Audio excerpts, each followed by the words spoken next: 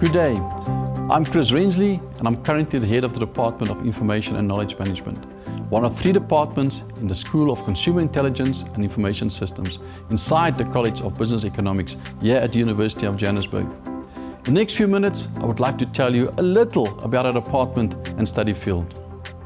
As you know, we work in a very dynamic time and space that generates tremendous amounts of data, aka big data, that we have to analyze, organize and use to create actionable information in order to make the best possible business decisions.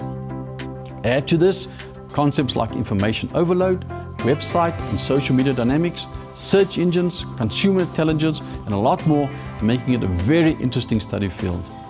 The fourth industrial revolution, the 4IR, bring with it its own challenges and we must make sure that our students are ready for these.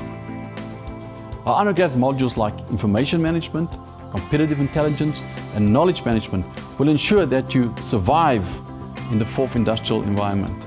But our specialized modules like entrepreneurship, search engine optimization, information portals, social media management and knowledge mentoring will ensure that you thrive in the 4IR.